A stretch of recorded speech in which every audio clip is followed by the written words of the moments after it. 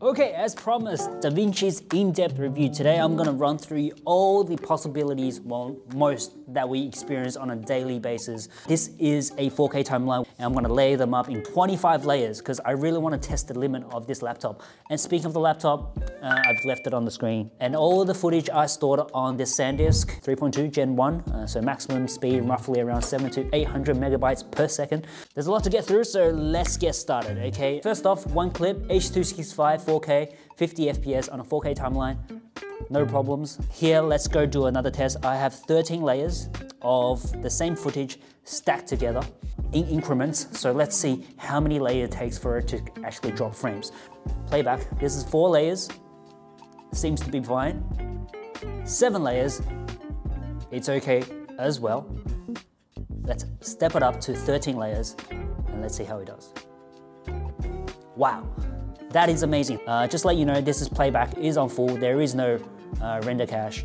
I'll just delete that just for your peace of mind. But of course, this there's no LUTs, there's no denoiser, there is no grain, there is no sharpening, etc. Uh, but I'll get into that in a sec. But let's just take this to another level, right? That's 15. Okay, 20 footage and it looks fine. 25 layers and we can still play back fairly smoothly. So let's apply some LUTs and see how this does.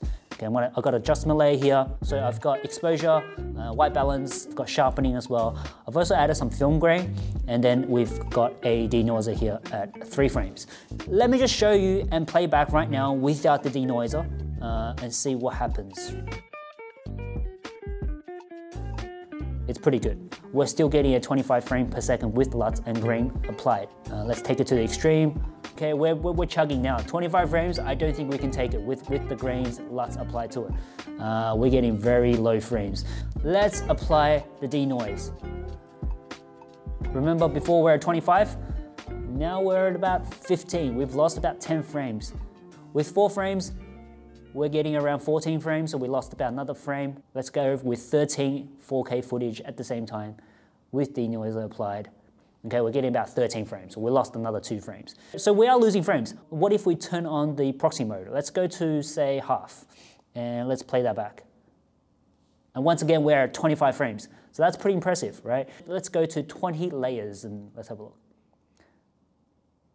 Still pretty smooth with denoiser applied. 25, now we're slowing down. This is like PPT level. Let's go to playback to quarter resolution and play. Okay, 15 frames, super smooth. 20 frames, we're good as well with denoiser applied. 25, we're good to go. So as long as you're playing back on a quarter resolution, um, we're pretty good for a daily editing program, right? We, even with all the LUTs applied to it. Okay, let's move to the next one. 10-bit, 422, H.264, 25 FPS. So let's try it with the same adjustment layer. So same LUTs, denoiser and grain, playback. Not as good as H.265, actually. I think we're getting around, you know, drop frames. So around 10 frames. We were getting 15 before. And let's try with 25. Yeah, we're getting about seven frames, but I think we're getting probably one or two frames. This is PowerPoint level, pretty much a PowerPoint level. uh, but what if we turn off the LUTs and see what happens? 25 layers, wow. It plays back pretty smooth, right? not a problem. Let's turn the LUTs back on. And with the denoiser, let's turn the proxy mode on. Let's go to quarter resolution in 4K, and uh, let's play back. It's a lot better. It's at 25. It's smooth, 25 frames per second. So as long as your playback is at quarter resolution, you're able to run this. Okay, let's try some 8K footage. One layer of 8K footage, you know, H.265, 25 FPS, plays back fine, right? Two layers, pretty smooth. Three 8K footage, not bad. Oh, there we go. We're starting to stutter.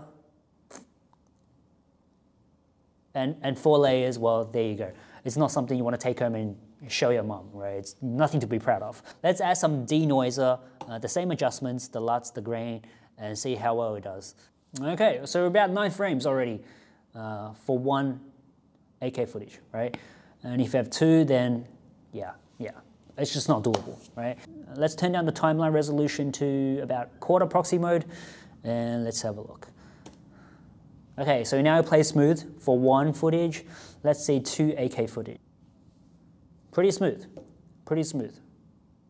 And three, yeah, around the same time, I think we're slowing down again. So I think we're at the limit right now, right? So if you want to have denoise on, if you want to have all the effects and LUTs on, put the proxy mode to about quarter and you're okay for about two, three layers. Now let's look at some coloring page effects that we like to use. Let's just track my face. Draw here. That's pretty quick. And let's track. Eight or nine frames, right? 10 frames per second for a feature tracking uh, mode in DaVinci. Uh, okay, let's go to another one. Let's go to face refinement. I'm gonna show overlay. Let's see how fast you can recognize my face and follow through. Okay, this is much faster. This is around 15, probably more. And it's doing a pretty good job. Add a bit of blush, add a bit of size, there you go. I think I had too much to drink the other night. Let's go to the next one. I have a couple of 8K footage that I've done in Fusion. This is a very quick job, so please don't critique the quality of the, the work. But I just want to show you what I've done here. So I've actually got a footage uh, of a hotel room. I've got a Luma Keyer right here. Uh, see, there you go. And I've also got a planar tracker. So I've tracked it. So now it looks like, you know, I'm moving through the window and I've got this you know, futuristic background happening in the back. I just want to show you how quick this tracker is, right? So let me turn this off. By the way, if you want to see DaVinci tutorials, you can leave a comment. I'm happy to make some for you guys, but, uh, but this is not a tutorial. Just very quickly, I'm going to track this scene and let's go, right? And this is playing back, I think at full frame, right? This is real time. So that is quite impressive. It's, it's really good, right? Create a planar transform node just add that in, and we've got a footage that is tracked and it's playing back real time with color grading. And this is the 8K footage in a 4K timeline. I think it's because, okay, there you go. That's probably why. I apologize. My playback resolution was at a quarter. So let's go to full and okay, it's, it's lagging a little bit. We're about, you know, I think about half. So just turn off your playback resolution to a quarter and wow, Bob's the uncle. If this is still not enough, you can run the same thing in a 1080 timeline, so everything else is even reduced. You can do the playback setting in a quarter resolution, right? But you're still gonna get lag in the 8K department, right? 8K department, you are still going to lag where you're meant to lag. Okay, now finally I have a real life edit. So you can see here, this is uh, one of the shows we run here. You can see we've got three layers of footage that we're most likely to see in a multicam situation. Uh, this is the 4K timeline and all the footage are different. So I have a H.265 in a 60 frame per second, 4K. The second layer is the same footage but in 24 frames. Now the third one is a H.264 in 30 frames. So if you're scrolling through, it's pretty, pretty good, right? It's quite snappy and you can make a lot of edits and not a problem at all. Playback in full, right? This is not proxy mode and this is 4K. Um, also, the effects are all turned on, okay? The only thing that's not in here, I think, is denoise, but everything else plays back pretty good. Subtitles, we've got credits, we've got some effects, uh, pretty subtle, but overall it's just a fairly good, um, you know, straight cut. And then let's see how long it takes to render it out. This is a 7 minute and 36 second footage. Go. And there we go, we finished in 3 minutes and 54 seconds. So on my desktop PC, I run an AMD 5800X with a 3060.